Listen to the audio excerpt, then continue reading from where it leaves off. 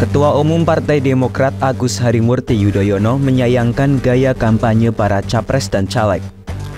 Menurut Dewan Pengarah TKN Prabowo Gibran itu, mereka hanya menebar janji di sektor pendidikan, pertahanan, dan bansos.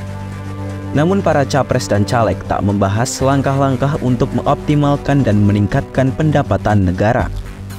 Sedangkan menurut AHY, jika mereka tak berupaya meningkatkan pendapatan negara, maka peningkatan anggaran di sektor yang dijanjikan akan sulit terwujud.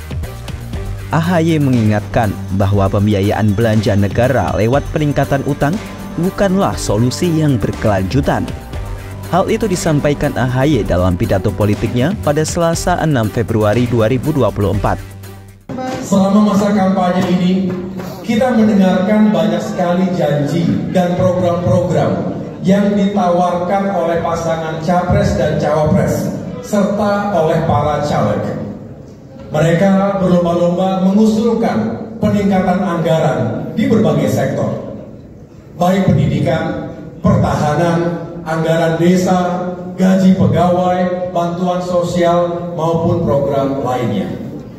Sayangnya, pembahasan mengenai upaya peningkatan dan optimalisasi pendapatan negara nyaris tidak menjadi perhatian yang serius. Padahal tanpa upaya tersebut, maka usulan belanja dan program-program yang dijanjikan itu sulit untuk diwujudkan.